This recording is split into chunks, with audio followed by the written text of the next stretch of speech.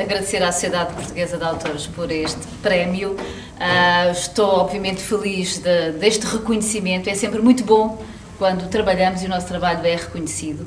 Quero, sobretudo, para quem, se calhar muitos de vós não viram esta reportagem ainda, mas eh, era bom que vissem, porque não por ser minha e por ter sido premiada, mas porque a mensagem que esta reportagem uh, nos traz a todos é uma mensagem de vida numa altura da morte Portanto, eu, eu, agradeço também aos profissionais de saúde que trabalham com, na área dos cuidados paliativos, na, na fase terminal das nossas vidas, que conseguiram uh, expressar aquilo que, uh, se calhar, todos nós provavelmente podemos vir a sentir na altura da partida, aquilo que não conseguimos resolver durante a vida. E não conseguimos partir sem ter isso resolvido. E isso resolvido é o quê?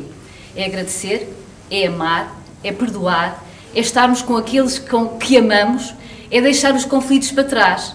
E estes profissionais de saúde o que me disseram, que disseram também ao meu colega, aqui está, o Paulo Jorge, o que nos disseram foi que se não resolvermos estes problemas durante a vida, as pessoas não partem em paz. Portanto, é uma reportagem que acho que merece ser vista por todos nós. Obrigada.